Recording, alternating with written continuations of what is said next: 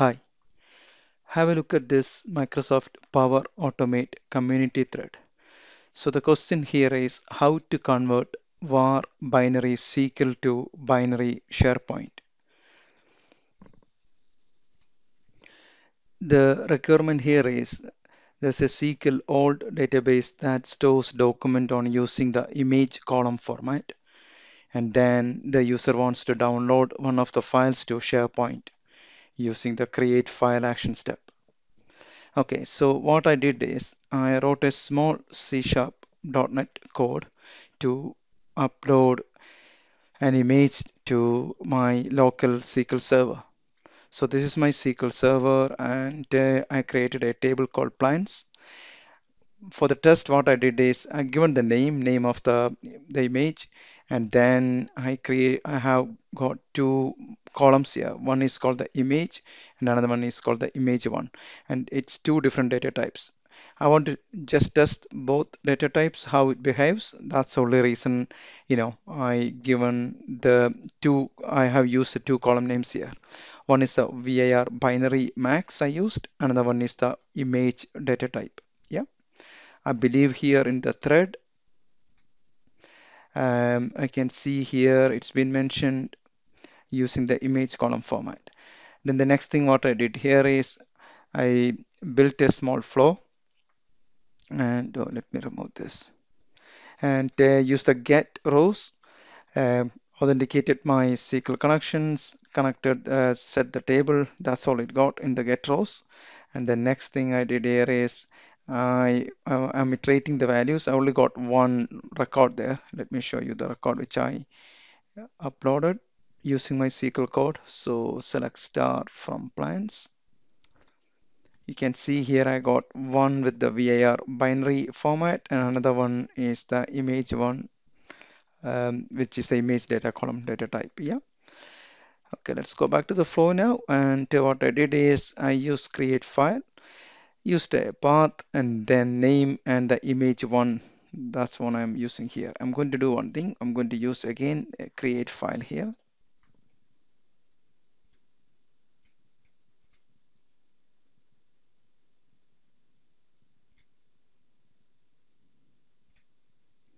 In the same um, document library I'm going to use a different name here. So I'm going to use your test image. uh, Uh, dot jpeg. Then I'm going to use this this image. Yeah.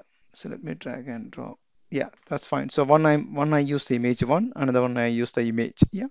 So remember this is the image. That's VAR binary format and image one that is the image column data type. Okay now I'm going to run my flow now and uh, see the result set so I'm not converting anything here all I am doing here is reading the get rows from the SQL server and uh, mapping the dynamic values under the create file step.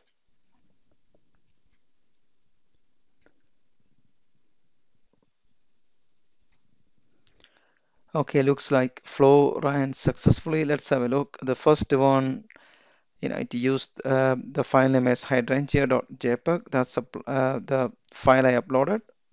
Uh, then the image and the image one there. So as you can see here, both of them created both both of the action step action step successfully passed and uh, the second name I used is a test image I can't use the same image otherwise it's going to overwrite that's the reason I'm using a different name here all I want to prove here is you know are there any difference between the you know the images here which I can directly upload into SharePoint do I need to convert using any expressions things like that so in this case I haven't done anything at all so let's go back to SharePoint and that's the document library here. I'm going to refresh it.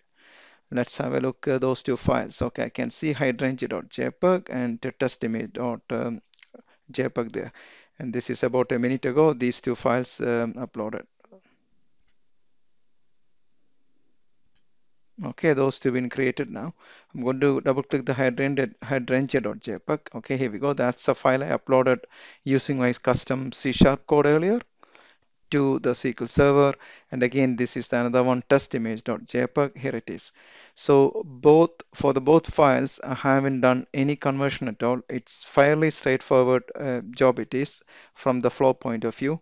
All you need to do here is um, use the get rows and then iterate the values then use the file name and um, image uh, image one or and the image here uh, that's my mapping here yeah so um, that's what I did use to create the file.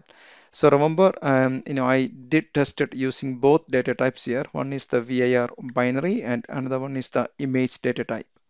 Hope this is useful. Thank you for watching